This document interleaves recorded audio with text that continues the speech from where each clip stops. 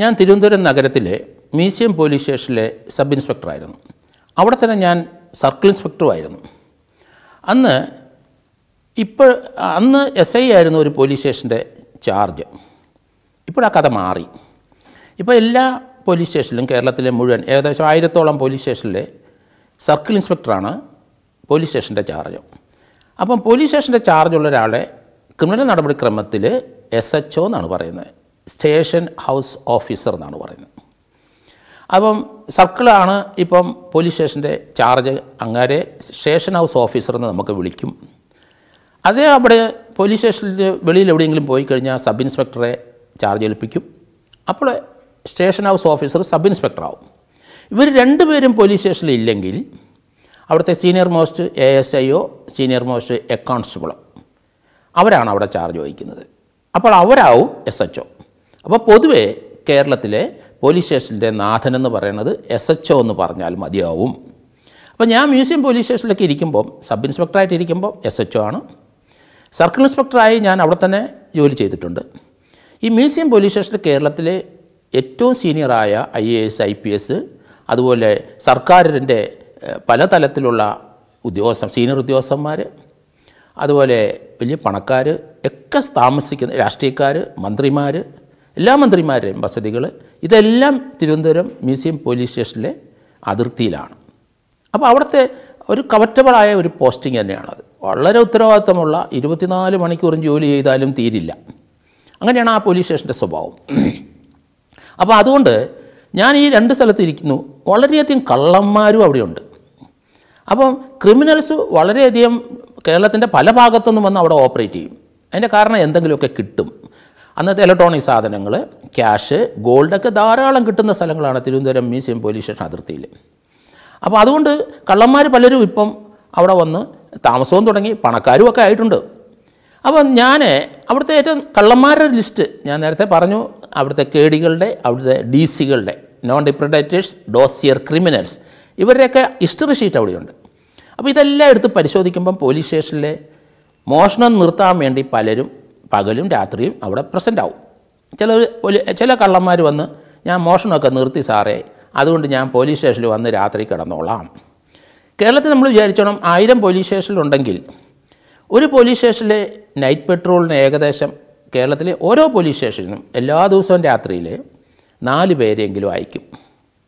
അത് ഓരോ ബീറ്റാണ് ആ ബീറ്റിൽ ഏറ്റവും മോശം നടക്കുന്ന സ്ഥലങ്ങളിൽ ഇവരുടെ പ്രസൻസ് ഉണ്ടാവും. പോലീസുകാർ സ്ലാക്കായിട്ടൊക്കെ ജോലി ചെയ്യുമായിരിക്കും ഉറക്കം വരുമ്പോൾ അവിടെ പോയി നിൽക്കുമായിരിക്കും ഇരിക്കുകയൊക്കെ ചെയ്യുമായിരിക്കാം എങ്കിലും ഏകദേശം നാലായിരം പോലീസുകാർ കേരളത്തിൽ ഉറക്കം ഒഴഞ്ഞ് അവരവരുടെ പോലീസ് സ്റ്റേഷൻ അതിർത്തി സഞ്ചരിക്കുന്നുള്ള വസ്തുത പൊതുജനങ്ങൾ മനസ്സിലാക്കണം പോലീസിന്റെ ആ ഡ്യൂട്ടി നമ്മൾ നോക്കിക്കണം. നാലായിരം പോലീസ് സ്റ്റേഷൻ പോലീ പോലീസുകാർ എല്ലാ ദിവസവും രാത്രിയിൽ കേരളത്തിന്റെ വഴിയോരങ്ങളിലുണ്ട്. അത് നമ്മൾ മനസ്സിലാക്കണം പോലീസിന്റെ ആ സേവനം. അതുകൊണ്ടാണ് ഞാൻ ആ കാര്യം ഇപ്പോൾ ഇവിടെ പറയാൻ കാരണം. കള്ളന്മാർ ചിലർ മോഷണമൊക്കെ നിർത്തി. സാറേ ഞാൻ ഇനി മോഷണത്തൊന്നും പോകുന്നില്ല. രാത്രി ഞാൻ പോലീസ് സ്റ്റേഷന്റെ വര വരാന്തയിൽ എവിടെയെങ്കിലും കിടന്നോളാം. കാരണം ഈ നൈറ്റ് പെട്രോൾ പോകുന്നവരെ ഓരോ ബീറ്റിലും അപ്പോൾ കാരണം നമുക്കറിയാം വില്ലേജ് ഓഫീസിലൊക്കെ ഓരോ ബീറ്റായിട്ട് മാറ്റിയിട്ടുണ്ട് വില്ലേജ് ഓഫീസിന്റെ ഓരോ കരകൾ അതൊരു പോലീസ് സ്റ്റേഷൻ ആ ബീറ്റുണ്ട്. അവിടെ പോകുന്ന പോലീസുകാർ ആ കള്ളന്മാരുടെ റെസിഡൻസിലെ രാത്രി രണ്ട് മണിക്ക് മൂന്ന് മണിക്കൊക്കെ ചെക്ക് ചെയ്യണമെന്നുണ്ട്. കാരണം അവരവിടെ പ്രസന്റിലാണോ അല്ലെ മോഷണത്തിന് പോയോ? അതുകൊണ്ട് അങ്ങനെ ഒരു നടപടിക്രമങ്ങൾ പോലീസിലുണ്ട്. അപ്പം ഈ കള്ളന്മാരിലൊരാൾ വളരെ പൂച്ചെടിയുള്ള സുകുമാരൻ. അപ്പം പൂച്ചെടിയുള്ള സുകുമാരന്റെ ഒത്തിരി തന്മയത്വപരമായ വളരെയധികം മോഷണങ്ങൾ നടത്തുന്ന ഒരു വ്യക്തിയാണ്. അപ്പോൾ അദ്ദേഹം പ്രസന്റിലാണ് ഞാൻ അവിടെ സബ് ഇൻസ്പെക്ടറായിരിക്കും. അദ്ദേഹത്തിന്റെ കഥകളൊക്കെ ഇങ്ങനെ കേൾക്കും ചില സന്ദർഭത്തിൽ. അപ്പോൾ സുമാരനാണ് നമ്മുടെ പ്രദേശത്ത് വരുന്ന പോലീസുകാരുടെ കൂടെ ചിലപ്പോൾ പെട്രോളിങ്ങിന് പോകും. വഴിക്ക് എവിടെയെങ്കിലും കള്ളന്മാർ നടന്നു പോകുന്നത് കണ്ടാൽ കാണിച്ചു കൊടുക്കും. കാരണം ജയിലിൽ കിടന്നുള്ള പരിചയം പോലീസുകാർക്ക് അറിയില്ല. അപ്പോൾ അവനെ പിടിക്കും. അപ്പോൾ ആ നമ്മുടെ പോലീസ് സ്റ്റേഷൻ അതിർത്തിയിലെ മറ്റ് കള്ളന്മാർ വരുമ്പോൾ ഇതൊരു ത്രെട്ടാണ് അപ്പോൾ പ്രസന്റ് നിൽക്കുന്നവർ എപ്പോഴും പോലീസിന്റെ ഭാഗം ചേർന്ന് മറ്റ് കള്ളന്മാരെ പിടിച്ചു കൊടുക്കുമ്പോൾ ഇവൻ വെളിയിൽ ജയിലിൽ ചെല്ലുമ്പോഴോ അല്ലെങ്കിൽ വെളിയിൽ കൂടെ നടക്കുമ്പോൾ നല്ല ഇടി അവന്മാരെ നിന്ന് കിട്ടുകയും ചെയ്യും. അങ്ങനെയൊക്കെ ഒത്തിരി അനുഭവങ്ങൾ പറയും. അപ്പോൾ സുകുമാരനെ ഞാൻ ഈ അടുത്ത കാലത്ത് ഞാൻ എല്ലാ ദിവസവും നേരത്തെ ഞാൻ പറഞ്ഞു ഞാൻ ഒരു സിമ്മറായിരുന്നു അപ്പം സ്വിമ്മിങ് ഉണ്ട് പ്രാക്ടീസ് ചെയ്യുമായിരുന്നു ഇപ്പോൾ അത് ഷട്ടിലാണ് കളിക്കുന്നത് അപ്പോൾ അവിടുത്തെ ട്രിവാൻഡ്രത്തെ ശ്രീമൂലം ക്ലബ്ബിലാണ് കളിക്കുന്നത് നാലരയ്ക്ക് വീട്ടിൽ നിന്ന് പോകും എല്ലാം കൃത്യമായിട്ട് പോയി കളിച്ച് കഴിഞ്ഞിട്ട് ഞങ്ങൾ കുറേ വി ഐ പികളാണ് എല്ലാം റിട്ടയർ ചെയ്തു. ഡോക്ടർ സുധീഷ് ഉണ്ട്. അങ്ങനെ ഒരു തോമസ് ഉണ്ട്. അങ്ങനെ കുറച്ച് ഐ ടി ഫീൽഡിലുള്ള കുട്ടികളുണ്ട്. എല്ലാവരും കളി കഴിഞ്ഞിട്ട് ആ ശ്രീമൂലം ക്ലബിന്റെ ഓഫീസ് ഫോറസ്റ്റ് ഓഫീസിന്റെ അവിടെ ഒരു മാടക്കട ചെറിയൊരു തട്ടുകടയുണ്ട്. അവിടെ ഒന്നൊരു ചായ കുടിക്കും. ഒരു ആറ് മണിക്ക്. അപ്പോൾ അവിടെ ആ പാരപ്പറ്റിലൊക്കെ ഇരുന്ന് ചെറിയ വെടികളും കഥകളൊക്കെ പറഞ്ഞ് ഈ ചായക്കടക്കാരന്റെ അല്ലെങ്കിൽ ഈ തട്ടുകടക്കാരന്റെ നിന്ന് ഓരോ ചായയും കുടിച്ചിട്ടാണ് പിരിയുന്നത്. അപ്പോൾ അയാൾക്ക് അവിടെ അയാൾ തന്നെയായിട്ട് ഈ തട്ടുകട നടത്തുന്നിടത്ത് അവിടെ ഒരു പ്രായമുള്ള ഒരാൾ ഞങ്ങൾക്ക് ചായ കൊണ്ടുത്തരുന്നു. അപ്പോൾ ഞാൻ ആ തട്ടുകടക്കാരനോട് ചോദിച്ചു ഇത് തനിക്ക് ഇയാൾക്കൂടെ ഒരു ചിലവ് കൊടുക്കാനുള്ള വരുമാനം ഇവിടെ കിട്ടുമോ? അതിന്റെ ആവശ്യമുണ്ടോ അപ്പോൾ അപ്പം നല്ല പ്രായമുള്ള ആൾ സാറേ അത് ഈ ഞാൻ നോക്കിയപ്പം പല ദിവസമായിട്ട് ഈ വെയിറ്റിംഗ് ഷെഡിൽ അവിടെ ഇടയ്ക്ക് കിടന്നുറങ്ങുക. ഒരു മനുഷ്യനും ഇല്ല. വേറെ ആശ്രയിക്കാൻ ആരുമില്ല. ഇത്രയും പ്രായമായി പത്തൊമ്പത് എൺപത്തിരണ്ട് വയസ്സ് എൺപത്തഞ്ച് വയസ്സുണ്ട്. നാല് അതുകൊണ്ട് ഞാൻ ഒരു അമ്പത് രൂപ കൊടുക്കും. സാറിനൊക്കെ ചായ എടുത്തു കൊടുക്കണം എന്ന് പറയും. എന്നാൽ അയാൾക്ക് ഇതായിട്ട് ദയ തോന്നി. ഒരു ജീവകാരുണ്യ പ്രവൃത്തിയാണ് ചെയ്തത്. അമ്പത് രൂപ വരുമാനം ഉണ്ടാവും. അപ്പോൾ ഇയാൾ എനിക്ക് കൊണ്ട ചായ തന്നിട്ട് എന്നെ ഒന്ന് നോക്കി. ഞാനും ഒന്ന് അങ്ങോട്ട് നോക്കി. അദ്ദേഹം ഞാൻ ഒന്നും മിണ്ടിയില്ല. അദ്ദേഹം ഒന്നും മിണ്ടിയില്ല. ഞാൻ ആരോടും ഒരു വാക്കും പറഞ്ഞില്ല. ഒരു മൂന്ന് മാസം കഴിഞ്ഞപ്പം രാവിലെ ചായ കുടിക്കാൻ ചെന്നപ്പം ഈ കിളവനെ അവിടെ കണ്ടില്ല. അന്നേരം ഞാൻ പോലീസാണല്ലോ. റിട്ടയർ ചെയ്ത ആളാണല്ലോ. ആ ചായക്കടക്കാരനെ ആ മാടക്കടക്കാരൻ എന്റെ അടുത്ത് പറഞ്ഞു സാറേ ആ കിളവന് രണ്ട് മൂന്ന് ദിവസത്തെ കളക്ഷൻ അടിച്ചുകൊണ്ട് പോയത് ഞാൻ ഇരുന്ന് ചിരിച്ചു. എന്താ സാറ് സാറിന് അയാളെ അറിയാവോ? ഞാൻ പറയും എനിക്കറിയാം. ഇതാണ് പൂച്ചെടിയുള്ള സുകുമാരൻ. കാരണം സുകുമാരനെ ഞാൻ കണ്ടപ്പോൾ എന്റെ കണ്ണിലോട്ട് നോക്കി എനിക്കും മനസ്സിലായി. പക്ഷേ സുകുമാരനെ എൺപത് എൺപത്തഞ്ച് വയസ്സിൽ മോഷണമൊക്കെ നിർത്തി ആരോഗ്യമില്ല. മോഷ്ടിക്കാൻ വീടിന്റെ രണ്ടാം നിലയിലൊക്കെ വലിഞ്ഞു കയറാൻ പറ്റില്ല. ജോലി അതുകൊണ്ട് ഞാൻ വിചാരിച്ചു പാവം ഇവിടെ നിന്നോട്ടെ ഞാനായിട്ട് എന്തിനാണ്? അതൊരു വരുമാനമായി പാവം ജീവിച്ചോട്ടെ ഇനി അധികം നാളൊന്നും ഇല്ലല്ലോ എന്ന് വിചാരിച്ചുകൊണ്ടാണ് മിണ്ടാതിരുന്നതെന്ന് പറഞ്ഞു. അപ്പോൾ ഈ സുകുമാരന്റെ കാര്യം പറഞ്ഞപ്പോൾ അവർക്കൊക്കെ വലിയ അത് ഞാൻ പറഞ്ഞു അവരൊരിക്കലും മോഷണം നിർത്തൂല. മോഷണം ചെയ്ത് പഠിച്ചവരാരും അത് നിർത്തൂല. എന്റെ അനുഭവം അങ്ങനെയാണ്. അപ്പോൾ സുകുമാരനെ നേരത്തെ പ്രസിഡന്റ് ആയിരുന്നപ്പം സുകുമാരന്റെ എനിക്ക് അത് ഞാൻ അവിടെ സബ് ഇൻസ്പെക്ടർ ആയിരിക്കുമ്പം സുകുമാരന് പത്ത് നാൽപ്പത്തഞ്ച് വയസ്സുണ്ട്. ഞാൻ ചെറുപ്പമാണ്. അപ്പോൾ അന്ന് എന്റെ സീനിയർ ഉദ്യോഗസ്ഥന്മാർ പറഞ്ഞു സുകുമാരനെ പറ്റി ചില കഥകളൊക്കെ പറഞ്ഞു.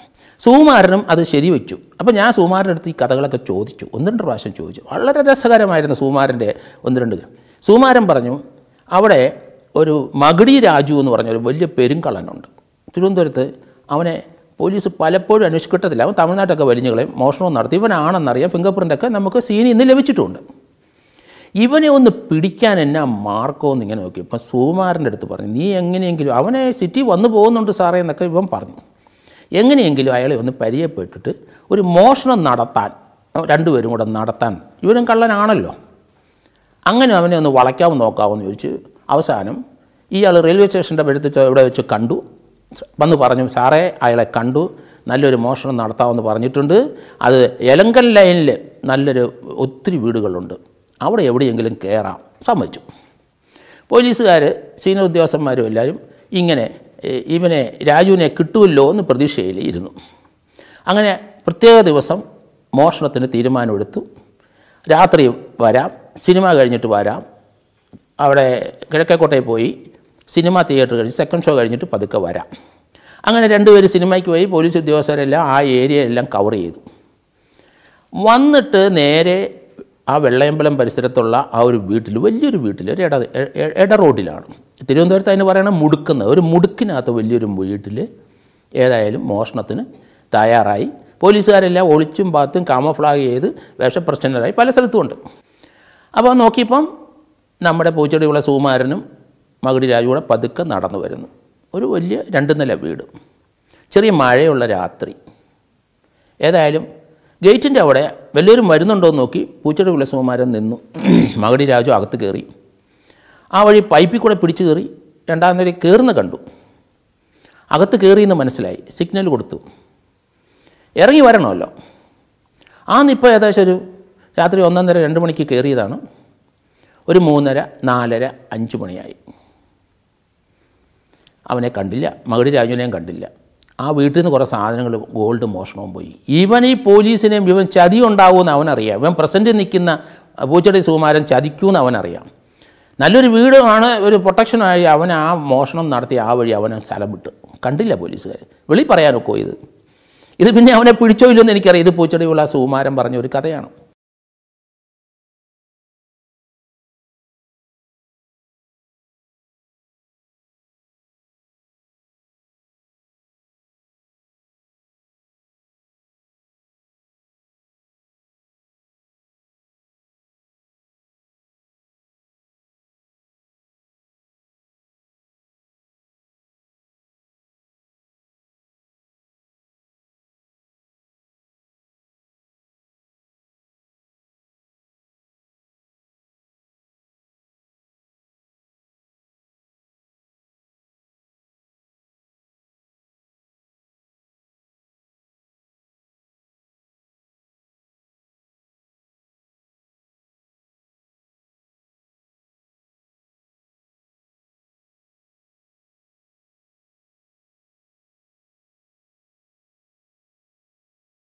വേറൊരു സംഭവം അവിടെ ഉണ്ടായി വെള്ളയമ്പലത്ത്. അടുത്ത അത് പൂച്ചെടിവിള സുമാരൻ തന്നെ നടത്തിയ ഒരു മോഷണമാണ്. അവയാൾ ഒരു സിനിമ അതുപോലെ സിനിമയ്ക്ക് പോയി സെക്കൻഡ് ഷോയും കഴിഞ്ഞ് പതുക്കെ റോഡിൽ കൂടെ ഇട റോഡിൽ കൂടെ മുടുക്കി കൂടെയൊക്കെ നടന്ന് നടന്ന് വെള്ളയമ്പലത്ത് അന്ന് ഒരു വലിയൊരു പണക്കാരനുണ്ടായിരുന്നു വലിയൊരു വീടും വെച്ചിട്ട് ഗവൺമെന്റ് ഉദ്യോഗസ്ഥനാണ്. ഗവൺമെന്റിലെ ഏറ്റവും അത്യുന്നത പോസ്റ്റിലിരിക്കുന്ന ഒരാളാണെന്ന് പറഞ്ഞു. ഞാൻ ആ വീട് കണ്ടു എനിക്കറിയാം. അപ്പം ഞാൻ അവിടെ എസ് ഐ ആയിട്ട് വരുന്നതിന് മുമ്പുള്ള പുള്ളിയുടെ ഒരു കഥ ഒരു ഒരു വീരകഥയാണിത്. അപ്പോൾ അവിടെ സുകുമാരനെ അവിടെ ചെന്ന് പാതിരാത്രിയാണ് നല്ല കൂരിരുട്ടെന്ന് പറഞ്ഞു. പേടിപ്പെടുത്തുന്ന ഇരുട്ടാണ്. പോലീസൊന്നുമില്ല ആ ഭാഗത്ത്. സുകുമാരൻ അവിടെ ചെന്ന് പൈപ്പ് വഴി കയറി രണ്ടാം നിലയിൽ കയറി സ്റ്റെയർ കേസിൽ വീടിനകത്തോട്ട് കയറാനേ പറ്റിയില്ല. സ്റ്റെയർ കേസ് ഇതിലൊന്നും അടുക്കാനേ പറ്റിയില്ല പുള്ളിക്ക്. അവിടുത്തെ ഒരു ജനൽ പൊളിച്ച് കയറാൻ നോക്കിയിട്ട് പറ്റിയില്ല. ഏതായാലും പൈപ്പിൽ കൂടെ പിടിച്ച് കയറി അവിടെ ഒരു രണ്ടാം നിലയിൽ അവിടെ ഒരു ഷെയ്ഡുണ്ട് ജനലിന്റെ അടിയിൽ ഒരു ഷെയ്ഡ് അവിടെ കയറി നിന്നു. എന്നിട്ട് ആ ജനൽ തുറന്ന് കിടക്കാൻ ആ ഒരു ഭയങ്കര കൂരിട്ട് ഒന്നും കാണാൻ മേല പക്ഷേ ജനലിന്റെ അകത്തൂടെ കൈയിട്ട് തപ്പിയപ്പോൾ അവിടെ ഒരു ബ്രീഫ് കേസ് ഇരിപ്പുണ്ട്. ജനലിൽ കൂടെ തന്നെ അദ്ദേഹം അത് തുറന്നു. അതിനകത്ത് നോക്കിയപ്പം കൈയിട്ട് നോക്കിയപ്പം ഇരുട്ടാണോ ഒന്നും കാണാൻ മേല. വളരെ എന്തോ ഒത്തിരി പേപ്പറുകൾ അതിനകത്ത് കിടക്കണം. ഇതെല്ലാം കൂടെ വാരി വെളിയിലോട്ട് എറിഞ്ഞ്. എന്നിട്ട് അടി തപ്പി. ഒരു ഒന്നര പവന്റെ ഒരു മാല കിട്ടി. അതുമായിട്ട് പൂച്ചെടിയുള്ള സുമാരം പോയി. അതിന്റെ ഇപ്പുറത്ത് ഒരു ചെട്ടിയാർ വിറക് കീറുന്ന ചെട്ടിയാരാണ് അതിന്റെ കുടുംബം ഓലപ്പരയൊക്കെയാണ്. ചെട്ടിയാരുടെ ഭാര്യ രാവിലെ അഞ്ചു മണിക്ക് മുറ്റം തൂത്തപ്പം വീട്ടുമുറ്റത്ത് നാറേ നൂറിന്റെ അന്നത്തെ കാലത്ത് നൂറിന്റെ നോട്ട് വലിയ നോട്ടാണ്? ഇത്ര അന്ന് ആയിരത്തിന്റെ രണ്ടായിരത്തി അഞ്ഞൂറിന്റെ ഒന്നും ഇല്ല. നിറയെ മുറ്റ ആ മുറ്റത്ത് ചെതറിക്കിടക്കുന്ന നോട്ട്. ഭാര്യ പെട്ടെന്നൊരു ചാക്ക് കൊണ്ടുവന്ന് അതിന്റെ അകത്തെല്ലാം നോട്ടെല്ലാം വാരി കെട്ടി. ചെട്ടിയാരെ വിളിച്ചേൽപ്പിച്ചു ഭർത്താവാണ് ചെട്ടിയാർ വിറക് കീറുന്ന പാവപ്പെട്ട ഒരുത്തൻ. ആ ചെട്ടിയാർ രാവിലെ തന്നെ ഈ നോട്ട് ആ വീട്ടിൽ നിന്നും മാറ്റി എവിടെ കൊണ്ട് വെച്ചു? എന്നാലും അതൊരു വലിയ മോഷണമായിട്ട് വെളിയിൽ വന്നില്ലെങ്കിലും പോലീസെല്ലാം വന്നു. ഒന്നര പാവന്റെ മാല പോയെന്ന് ആ വീട്ടുകാർ അതിന്റെ വീടിന്റെ ഉടമസ്ഥൻ പറഞ്ഞു ആ ബ്രീഫ് കേസിനകത്ത് വെച്ചിരുന്ന വീട്ടിന് ഒരു ഒന്നര പവന്റെ മാല ഉണ്ടായിരുന്നു അത് മോഷണം പോയി. വേറൊന്നും മോഷണം പോയിട്ടില്ല. വീടിനകത്തെ കള്ളം കയറിയില്ല ജനലിൽ കൂടെ കൈയിട്ടെടുത്തു. അപ്പോൾ ആ ഒരു കേസ് അവിടെ രജിസ്റ്റർ ചെയ്തു. അതിനുശേഷം ഈ പൂച്ചെടിപുളി സുകുമാരനെ പിന്നീട് പോലീസ് അറസ്റ്റ് ചെയ്തു. ഒന്നര പവന്റെ മാല എവിടെ കൊണ്ട് ചാലയിൽ വിറ്റു. അത് റിക്കവർ ചെയ്തു. പക്ഷേ പിന്നീടാണ് മനസ്സിലായത് ചെട്ടിയാരിൽ നിന്ന് മരിച്ചുപോയി. ചെട്ടിയാർ വലിയ പണക്കാരനായി. വിറകോട്ടൊക്കെ നിർത്തി. ശാസ്ത്രമംഗലത്ത് കുറേ കടകളെല്ലാം വാങ്ങിച്ചു. കാരണം അന്നത്തെ കാലത്ത് നൂറിന്റെ രൂപയുടെ വില എന്താണെന്ന് നമുക്കറിയാമല്ലോ. എത്രയോ വർഷം മുമ്പ്. ഈ കഥ എന്റെ അടുത്ത് പറഞ്ഞു. അപ്പം ഞാൻ ചോദിച്ചു നീ പോലീസ് സ്റ്റേഷനിൽ പ്രസന്റ് ചെയ്യുമ്പോൾ നീ പോലീസ് പണിക്കൊന്നും പോലെ അത് ഞാൻ ചെട്ടിയാരുടെ അടുത്ത് പോയി പത്ത് നൂറ് രൂപ ചോദിക്കും. ചെട്ടിയാർ ആരാ ചെട്ടിയാർ? അന്നേരമാണ് ഈ കഥ പറഞ്ഞത്. അപ്പോൾ രാത്രിയിൽ ഇതിനകത്തിരിക്കുന്ന നോട്ടുകൾ മുഴുവനായിരുന്നു. അതിനകത്ത് പേപ്പറാണെന്ന് ഈ പാവം വലിച്ചെടുത്ത് വെളിയിൽ കളഞ്ഞു. ചെട്ടിയാരുടെ ഭാര്യയ്ക്ക് കിട്ടി. ചെട്ടിയാർ പണക്കാരനുമായി. അപ്പം ഞാൻ ഇവൻ അപ്പം ഇടയ്ക്കൊന്ന് ചോദിച്ചാൽ ഇവനാണ് ഈ കള്ളനെ പിടിച്ചുകൊണ്ട് വന്നതൊക്കെ ചെട്ടിയാർ കണ്ടു? അപ്പോൾ ഇവൻ കാരണം കൊണ്ടാണ് അവൻ മോലാളിയായത്. അപ്പം ഞാൻ ചെട്ടിയാരെ ഒന്ന് വിളിച്ചാലോ? ഒരു സാറ് വിളിച്ചോ ചോദിച്ചോ. ഞാൻ ചെട്ടിയാരെ ഒന്ന് വിളിപ്പിച്ചു മ്യൂസിയത്തിൽ സബ് ഇൻസ്പെക്ടറായപ്പോൾ ഒരു അംബാസഡർ കാർ അന്ന് അംബാസഡർ കാർ വലിയ ലക്ഷൂറിയസ് ആണ്. അംബാസഡർ കാർ ചെട്ടിയാർ നല്ല പ്രായമുണ്ട്. വടിയും കുത്തി ഇറങ്ങി ഇരിക്കാൻ സീറ്റ് കൊടുത്തു. ചെട്ടിയാർ വലിയ പണക്കാരനാണ് അവിടുത്തെ. ഞാൻ പറഞ്ഞു ഈ നിൽക്കുന്ന ആളെ അറിയാമോ? അറിയാം സാറേ. ഇയാൾ പറഞ്ഞ ഒരു കഥ പറഞ്ഞ് ശരിയാണ് ശരിയാണ്. ഞാൻ പണക്കാരനായി. ഇടയ്ക്ക് അവൻ വരും. നന്ദിയോടെ ഞാൻ പത്തോ നൂറോ രൂപയൊക്കെ കൊടുക്കും. അങ്ങനെയാണ് ഈ ചെട്ടിയാരുടെ കഥ എനിക്ക് മനസ്സിലായത്. അപ്പോൾ സുകുമാരന്റെ ഈ അടുത്ത കാലത്ത് സുകുമാരൻ മരിച്ചുപോയി നയം ഈ അടുത്ത കാലത്ത് വരെ ഉണ്ടായിരുന്നു. നല്ല പ്രായത്തിൽ മരിച്ചുപോയി. അപ്പം ഈ കള്ളന്മാരുടെ മൂവ്മെന്റും ഇതുപോലെയുള്ള സംഭവങ്ങൾ ധാരാളം ഞാനിങ്ങനെ കേട്ടുകൊണ്ടിരിക്കുന്നുണ്ട്. കാരണം തിരുവനന്തപുരം സിറ്റിയിലെ പതിനാറ് പോലീസ് സ്റ്റേഷനിൽ ചേരുന്നപ്പോൾ ഏറ്റവും കൂടുതൽ മോഷണം പിടിച്ചിരിക്കുന്നത് ഞാനാണ്. അപ്പോൾ അവരുടെ ഇതുപോലുള്ള കഥകളൊക്കെ ഞാൻ കേൾക്കും. അപ്പോൾ ഈ ക്രിമിനൽ മൂവ്മെന്റ് വളരെ പ്രസക്തമായ ഒരു കാര്യം തന്നെയാണ്. ഇന്നത്തെ കേരളത്തിലെ കൊലപാതകങ്ങളും വയലൻസും അതും ഇതും റോബറി ഡക്കോയിറ്റിയിലൊക്കെ ഈ ക്രിമിനൽ മൂവ്മെന്റ് വളരെ ഇമ്പോർട്ടന്റ് ആയ ഒരു ഘടകം തന്നെയാണ്. അത് പോലീസ് ഉദ്യോഗസ്ഥന്മാർ മുഴുവൻ ആൾക്കാരും പഠിച്ചിട്ടുണ്ടോ എന്ന് എനിക്കറിയത്തില്ല. അത് കൂടുതൽ കൂടുതൽ കൂടുതൽ കള്ളന്മാരെ ഇൻട്രോഗേറ്റ് ചെയ്യുകയും അവരുടെ മോഡസോപ്രാണ്ടി അവരുടെ മോഷണത്തിന്റെ രീതികൾ മനസ്സിലാക്കുമ്പോൾ മാത്രമാണ് നമുക്ക് ഇതേപ്പറ്റി കൂടുതൽ കൂടുതൽ അറിവുണ്ടാകുന്നു അറിവ് വെച്ചിട്ട് പല കേസുകൾക്കും തുമ്പുണ്ടാക്കാൻ നമ്മൾ എന്നെപ്പോലുള്ളവർക്ക് സാധിക്കുന്ന അങ്ങനെയാണ്. അപ്പം ഇതുപോലെയുള്ള കള്ളന്മാരുടെ കേസ് പിടിക്കുക മാത്രമല്ല അവരുടെ അവരുടെ ആ ജീവിത രീതി അവരുടെ നീക്കങ്ങൾ അവരുടെ യാത്രകൾ അവരുടെ കോണ്ടാക്റ്റുകൾ അവരാരെയൊക്കെ കാണുന്നുണ്ട് മിക്കവാറും എല്ലാവരും നല്ല മദ്യപാനികളും കൂടുതലും കൂടുതൽ സ്ത്രീകളെ യൂസ് ചെയ്യുന്നവരുമാണ്. എപ്പോഴും സ്ത്രീകളുമായിട്ട് ബന്ധപ്പെടും. എല്ലാ സ്ഥലങ്ങളിലും മിക്കവാറും അവർക്ക് കീപ്പുകളുണ്ട്. അവിടങ്ങളിലൊക്കെ പോകും ഈ പണം മുഴുവൻ അവർക്ക് കൊടുക്കുകയും ചെയ്യും. അപ്പോൾ അങ്ങനെ തിരുവനന്തപുരം ഈ സിറ്റിയിലെ പല പോലീസ് സ്റ്റേഷനിരുന്ന സമയത്ത് ഞാൻ മെഡിക്കൽ കോളേജ് പോലീസ് സ്റ്റേഷനിലെ സബ് ഇൻസ്പെക്ടറായിരുന്നു. ആ കാലഘട്ടത്തിൽ അവിടെ ധാരാളം മോഷണം നടക്കുന്നു. കാരണം മെഡിക്കൽ കോളേജിലെ ഡോക്ടേഴ്സ് അവിടുത്തെ സയന്റിസ്റ്റുകൾ വളരെ നമുക്കറിയാമല്ലോ തിരുവനന്തപുരം മെഡിക്കൽ കോളേജിന്റെ പരിസരത്ത് വളരെയധികം വലിയ ഡോക്ടേഴ്സും വലിയ വീടുകൾ വെച്ചിട്ടും അവരെല്ലാവരും നല്ല പണക്കാർ ധാരാളം. അവിടെയും വലിയ മോഷണം നടക്കുന്ന സ്ഥലങ്ങളാണ്. അപ്പം അവിടെ ഇതുപോലെ കള്ളന്മാർ ധാരാളമുണ്ട് അപ്പോൾ ഞാൻ ചില ആൾക്കാരെ അവർക്കൊന്ന് റിഫോം ചെയ്യാൻ അവസരം ഉണ്ടാക്കി കൊടുക്കും. പല സന്ദർഭത്തിലും കൊടുത്തിട്ടുണ്ട്. മെഡിക്കൽ കോളേജ് പോലീസ് സ്റ്റേഷന്റെ മുൻവശത്ത് അന്ന് രണ്ട് മാടക്കട. കോർപ്പറേഷൻ അതിനെ എതിർത്തു. ഞാൻ രണ്ട് മാടക്കട വെച്ചു. അവസാനം ഈ രണ്ട് കള്ളന്മാരെ അവിടെ കുടിയിരുത്തി. കോർപ്പറേഷൻകാരത് എടുക്കാൻ വന്ന് ഞാൻ കയറി തടഞ്ഞു. എസ് ഐ ആയതുകൊണ്ട് അവരിനെ അവർ മടങ്ങിപ്പോയി. അനധികൃതമായിട്ട് റോഡിന്റെ സൈഡിൽ വെച്ചു. കാരണം ഇവനൊന്ന് നന്നായി കിട്ടിക്കോട്ടെ എന്ന് വിചാരിച്ചാണ്. അപ്പോൾ അങ്ങനെ പല ആൾക്കാരുടെ സഹായത്തോടുകൂടി അവിടെ മാടക്കട വെച്ചു. മൂന്നെണ്ണം ഞാൻ വെച്ചു. അതിൽ ഞാൻ ഇരിക്കുന്ന സന്ദർഭത്തിലൊക്കെ ഞാൻ രാത്രിയിലൊക്കെ നോക്കും പകലും നോക്കും ഇവൻ അവിടെ ഉണ്ടോ കച്ചവടം ചെയ്യുന്നുണ്ട് നല്ല കച്ചവടം ചെയ്തിട്ട് ബീഡി ഒക്കെയാണ് അവന്റെ ഐറ്റം. സോഡ നാരങ്ങ വെള്ളം ബോഞ്ചി തിരുവനന്തപുരം ഭാഷയിലെ ബോഞ്ചികളൊക്കെ ഉണ്ട്. പിന്നെ ചില ആൾക്കാരുടെ അടുത്ത് പറയുമ്പോൾ അവനെ ഒന്ന് സഹായിച്ചാൽ കൊള്ളാം എന്ന് പറയുമ്പോൾ അവരൊക്കെ സഹായിക്കുകയും ചെയ്യും സാമ്പത്തികമൊക്കെ സഹായിക്കും. എന്തായാലും മൂന്ന് പേരിലും രണ്ട് പേരും ഞാൻ അവിടുന്ന് പോയ ശേഷം അവിടുന്ന് സ്ഥലം വിട്ടു. ഏതെങ്കിലും സ്ത്രീകളുടെ പുറകെ പോയിട്ടുണ്ടാവും. മെഡിക്കൽ കോളേജ് ധാരാളം ആൾക്കാർ വരുന്നുണ്ട്. പിന്നെ മദ്യപാനികളാണ് ഇവന്മാർ ഒന്നും നന്നാവില്ല അതുകൊണ്ടാണ് ഞാൻ പലപ്പോഴും പറഞ്ഞത് ആ തുടങ്ങി വെച്ച അവന്റെ ആ ജീവിതചര്യയിൽ നിന്ന് അവൻ മാറില്ല. എത്ര ആ രുചി അങ്ങ് പഠിച്ചു കഴിഞ്ഞാൽ നമുക്ക് റിഫോം ചെയ്യാൻ വളരെ ബുദ്ധിമുട്ടാണ്. എന്തായാലും ഞാനൊരു പരീക്ഷ നടത്തി പരാജയപ്പെട്ടു. പക്ഷേ അവിടെ തങ്കപ്പൻ കാതികൻ തങ്കപ്പൻ അവൻ കഥാപ്രസംഗമൊക്കെ പറയും. അവനെ അവിടെ ഇത് പാടും പാട്ട് പാടും. നല്ലതായിട്ട് പാടുന്ന ഒരു കള്ളനായിരുന്നു. അപ്പോൾ അവനും ഒരു മാടക്കട മെഡിക്കൽ കോളേജ് കാഷ്വാലിറ്റിയുടെ മുമ്പിൽ വെച്ച് കൊടുത്തു. ആ മാടക്കടയൊക്കെ അവൻ മറിച്ച് വിറ്റൊക്കെ പോയി. ഞാൻ ഈ അടുത്ത കാലത്ത് അവിടെ നോക്കിയപ്പം റിട്ടയർ മുമ്പ് വലിയൊരു രണ്ടു നാലഞ്ച് മോഷണം നടന്നപ്പം അതിലൊന്ന് ശ്രദ്ധിക്കണം. ഞാൻ വളരെ വലിയ മർഡർ കേസുകൾ മാത്രം അന്വേഷിക്കുന്ന ഒരു കാലഘട്ടത്തിൽ ഇത് ഡി ജി പി പറഞ്ഞപ്പോഴും ഐ ജി പറഞ്ഞപ്പോഴും ഒക്കെ ഞാൻ സാറേ ശ്രദ്ധിക്കാൻ നോക്കാം. അപ്പോൾ അവിടുത്തെ ഒരു മോഷണത്തിൽ സീനിയർ ഉദ്യോഗസ്ഥന്മാർക്ക് താല്പര്യമുള്ളൊരു മോഷണം ഉണ്ടായിരുന്നു. അതിന്റെ ആ മോഷണ രീതികൾ ഞാൻ നോക്കിക്കഴിഞ്ഞപ്പം കല്ലമ്പള്ളി രാജൻ എന്ന് പറഞ്ഞാൽ ഞാൻ മെഡിക്കൽ കോളേജ് പോലീസ് സ്റ്റേഷനിൽ ഇരിക്കുമ്പോൾ അവിടെ ഒരു ഡി സി ഉണ്ട് ഡോസിയർ ക്രിമിനലെ. അസാമാന്യമായ ഓപ്പറേഷൻ രീതിയുള്ളവനാണ്. രാജൻ വലിയ പണക്കാരനാണ് ഇന്ന് എനിക്കറിയാം. പക്ഷേ രാജനെ പിടിക്കണം അവൻ അവിടെ പ്രസന്റ് ഇല്ല. ഒരു എട്ട് പത്ത് വർഷമായിട്ട് അവൻ ഒളിവിലാണ്. എവിടെയാണെന്ന് ആർക്കും ഒരു പിടിയില്ല. അന്വേഷിക്കുന്നുമില്ല പോലീസ്. എന്തായാലും ഞാൻ ഇവനെപ്പറ്റി കാതിയൻ തങ്കപ്പന്റെ അടുത്ത് പതുക്കെ പതുക്കെ പോയി. അവനെ പല പ്രാവശ്യമായിട്ട് അവർ ചെന്ന് ഇവൻ ഒന്നും പറയത്തില്ല. കള്ളന്മാർ സാധാരണ മറ്റൊരു കള്ളനെ ഒറ്റിക്കൊടുക്കില്ല മിക്കവാറും. വളരെ ചുരുക്കമാണ്.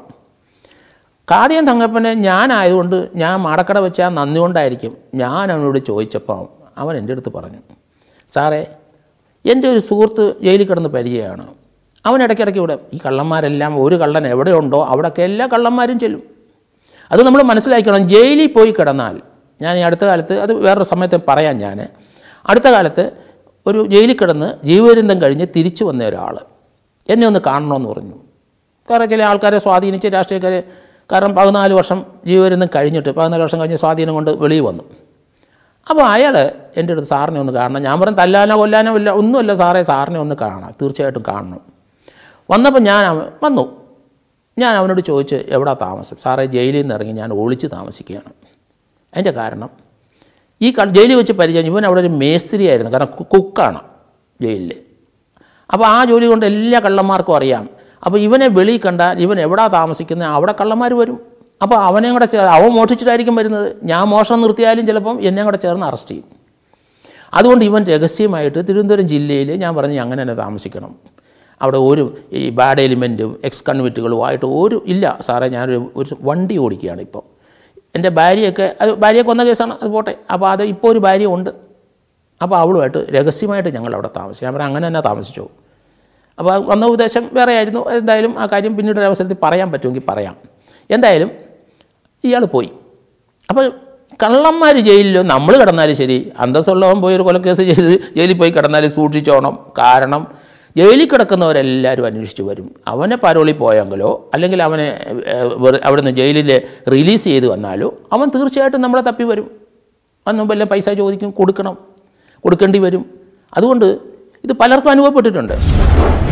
ഇവിടുന്ന് പത്ത് ലക്ഷം രൂപയായിട്ട് പോകുമ്പോൾ കാറിൽ പോയി സെക്രട്ടേറിയറ്റിന്റെ അവിടുന്ന് നേരെ ശ്രീകാര്യം ജംഗ്ഷനിൽ ചെന്നു. അന്ന് പതിവില്ലാത്ത ഒരു ട്രാഫിക് ജാം ഒരു പത്ത് മിനിറ്റ് അവിടെ കിടന്നു വരും ബാഗുമായിട്ട് മാനേജർ പുറയിലത്തെ സീറ്റിലിരിക്കുന്നു